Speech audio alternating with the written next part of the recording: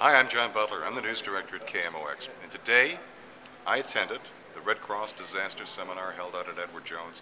It was incredible. It was the first one. The room was packed and the information was outstanding. We do it next year. You want to make sure you attend.